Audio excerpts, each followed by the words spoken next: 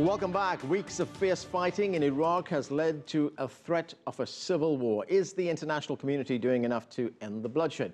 What will be the political fallout for US President Barack Obama if the situation deteriorates? To discuss all that and more, I'm joined by Daveed Gartenstein-Ross, a professor at Georgetown University in Washington, D.C. Professor, thanks for joining us. As we heard from our reporter there, the battle is intensifying. ISIL now taking control of a border post, a refinery. It controls significant parts of Iraq right now. Is Iraq losing this war? Excellent question. One thing we should specify at the outset is that even though the media and the Iraqi government both tend to lump all of the forces together as being ISIL, that's not the case. You have instead an offensive that's being undertaken by multiple factions here. ISIL has allied itself with Ba'athist factions, it's allied itself with Al Qaeda loyalists. ISIL itself got booted out of uh, Al Qaeda back in February. But if you look at the, the fighting that occurred around Al Qaim, one of the border posts that was taken near Syria, it seems that actually the Nusra Front, as opposed to ISIL, was primarily responsible to, for that, as, as well as tribes. That's another part of their offensive. Sunnis who are discontent with uh, the Maliki government's rule, who believe that it's overly sectarian. So uh, the reason I emphasize that is because that also indicates some of the fragility in what ISIL has done. Not only is, are, do many analysts believe that they're overstretched, and I share that view, but also they're dependent upon a, a coalition of multiple groups that have very different interests staying together. And you can already see a little bit of fraying at the seams. Around Kirkuk, you've had some infighting between members of ISIL and former Baathists, but it's not clear that that's going to spread throughout the entire movement. But at this stage, they do control a significant part of the country. Absolutely, they do. And what you're what you're going to see next is a counteroffensive, which is going to be led by the Iraqi government. They've amassed a lot of forces around Samarra, for example. They have 50,000 troops. Iran is is certainly going to be helping them, although probably in a quiet way as opposed to a loud way. Uh, the United States has already announced that it too is going to play a role, uh, which is probably going to be, at least at this point, very limited. Uh, the president didn't announce drone strikes, but at the very least, provision of intelligence is something the U.S. will do. Right, about that United States help, Secretary of State John Kerry, of course, has been in Iraq. He's been holding talks in Baghdad as well as in Erbil.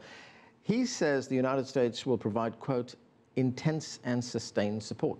What does that mean?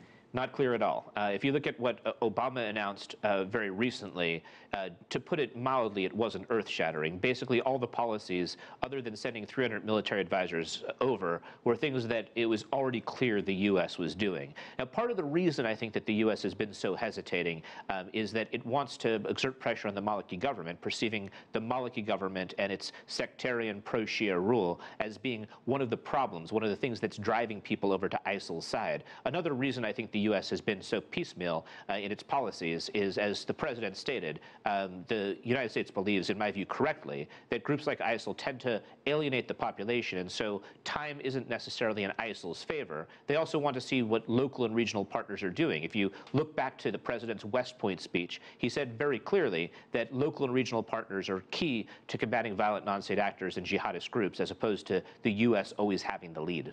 Rob, what you said about al-Maliki, I mean, that raises the question, is he going to go willingly, or if not go, relinquish a significant amount of power? I, I don't know of, of any world leader who, in the midst of an uprising and a major national crisis, is going to abdicate power. I mean, Ben Ali did, but uh, he's the exception rather than the rule. And in Ben Ali's case, that was very explicitly an uprising designed to overthrow him. Th this is, is much broader. I mean, if you look at the Shia population of Iraq and, and others, uh, they, they really fear ISIL's advance. I mean, if, if you look at the videos that ISIL has released, it has brutal execution videos where they're slapping Shia soldiers who they've captured, and then executing them on camera. This is a very sectarian statement. And so it's not as though the entire population of Iraq is anti-Maliki. Now, you do have blows to him. For example, Ayatollah Sistani, the most uh, important Shia Ayatollah uh, in Iraq, has called for a new government that doesn't repeat mistakes of the past. And that is a significant blow. Uh, but looking at Maliki's record, there's nothing that indicates to me that there's a real likelihood of, of him abdicating. Instead, he almost certainly is going to, to try to maintain power throughout this crisis. Right. You mentioned Iranian involvement earlier on, and we've known for some days now, for some weeks rather, that there have been reports that uh, units of the Iranian Revolutionary Guard are in Iraq already. Uh, are we going to get to a situation where the United States and Iran are going to be on the same side here? Well, yes, uh, but let's not take that too far. Mm -hmm. you know, the U.S. was also on the same side uh, as Iran uh, in the beginning of the Afghanistan war. You know, Iran had been involved in fighting against the Taliban uh, for, for years. It had been supporting the Northern Alliance, for example, because it saw the Taliban's rise in Afghanistan as being inimical to Iranian interests. So, yes, the U.S. and Iran are on the same side, but that doesn't really make the two countries partners. That term is thrown around a lot, a partnership between the U.S. and Iran. But if they're actually to be partners, there has to be some kind of you know, concrete cooperation, and I don't see that that's occurring right now in the status quo. Yeah, the thing is, a lot has happened since the Afghan war, of course. I mean, relations between Iran and the United States have deteriorated considerably since then.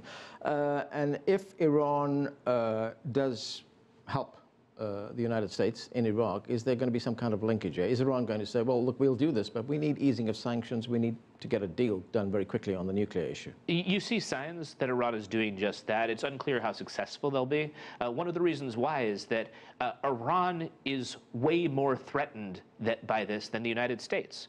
Uh, ISIL is you know, a virulent Sunni organization. It's very anti-Shia. Iran has significant interests in Iraq, more so than the United States. So if the, if Iran is able to take this situation and successfully leverage the United States, then Iran uh, has some fabulous negotiators, and we're not um, doing a proper job of assessing relative interest in what's going on in Iraq. Right. You know, I talked with uh, Paul Bremer, the last U.S. representative in Iraq, uh, and he says, look, we won the war. Uh, this was a victory for Iraq. This was a victory for the United States. But when we look backwards at this, there wasn't the kind of threat posed to the United States and its allies and European countries, etc., that ISIL now poses. Uh, he told me at the time, Bremer told me, well, look, Al Qaeda was in Iraq at the time, uh, and we defeated them, and you know that's questionable. But if you look at the situation then under Saddam Hussein and now, it's got worse for the United States, hasn't it? Absolutely. Um, I, I, think the Iraq War was uh, one of the, the, key errors that the U.S. has made uh, over the course of, of, the past 13 years. Um, U.S. interests were very much hurt by that war, including uh, both the blood and treasure that we expended uh, and the, the threat of terrorism, which was the specific uh, threat that ended up prompting the U.S. to go in, got worse in Iraq after the United States undertook the Iraq War. Professor David Gartenstein Ross, thanks for joining us. My pleasure.